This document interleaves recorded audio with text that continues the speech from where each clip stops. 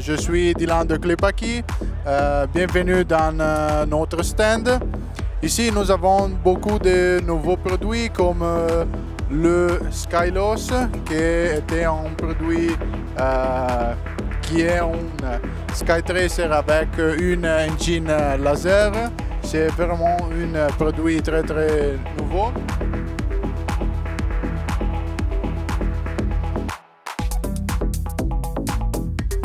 Ici, on a euh, un autre produit qui, s'appelle Arolacqua.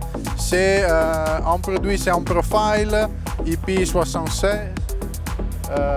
900 watts, white euh, blanche avec une engine blanche. Nous avons ici le nouveau Body Light qui est un nouveau système euh, follow spot automatique euh, de Klepaki. Mais euh, ici, il y a le Symphonia Profile 60, que c'est un produit vraiment théâtral pour des applications télévisuelles.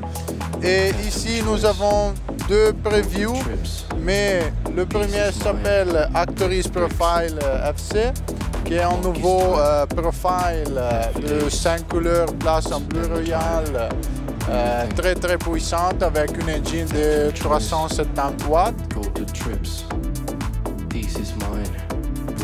Et ici le nouveau MIDI BFX que c'est comme une mini B classique plus 5 agneaux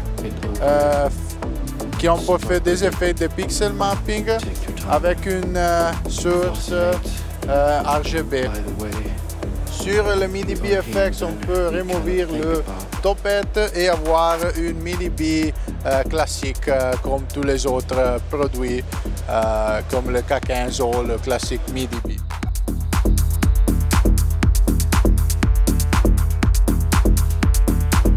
We cannot think about